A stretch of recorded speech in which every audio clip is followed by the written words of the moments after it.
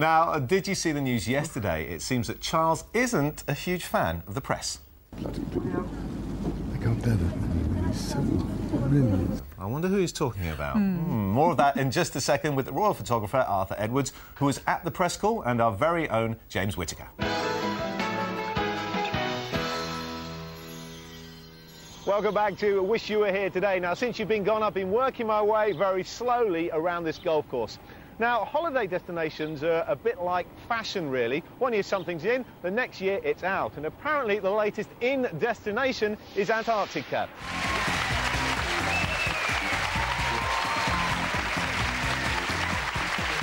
Time for the man who proves that Find a Fortune is a programme well worth watching. Tell us more, Tris. The man I'm looking for, Carol, is called David Latham. David, um, Standard Life have been trying to track you down. We've been trying to track you down. We've found you. I have a check here for you from Standard Life, OK? Looking forward to it. I'm looking forward to it too. Before I can give you this check, I just need to check a few things, OK? Your middle name and your place of birth. John Osborne is my middle name. Yes, your place of birth? Ilfracombe. Perfect, exactly right.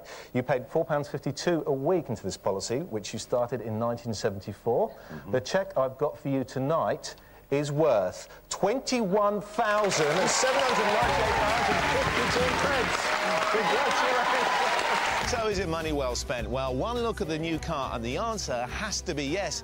Gone is the boxy old shape. Instead, you've got a much sleeker and curvaceous car. And it says in the press jargon, which comes with the car, it's got taut, powerful bulges and the muscular body of a trained athlete. Now, I wonder who they modelled that on. If you can't stand the heat, don't buy the kitchen. But if winter sun is your idea of heaven, then this is definitely the place to be.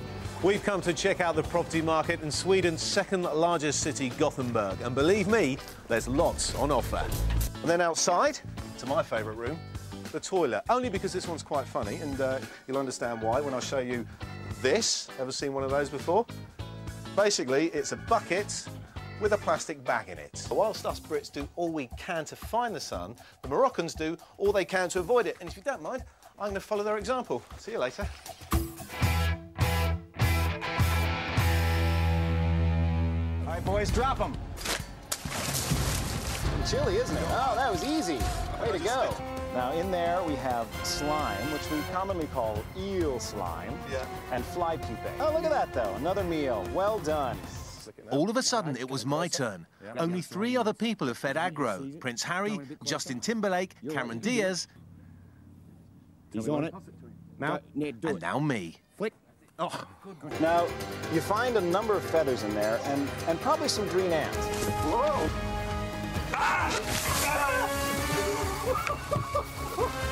Ah! That's one. Enjoy it. If it bites you, you've got a good 20 minutes before you're dead. 20 minutes. Yeah. Is that all? Oh, unless I get Yeah. a pressure bandage on. How you going with that? It's all right. Yeah. It's all right, Steve. You know, This snake is completely harmless. Oh, that has to be the worst experience in my life.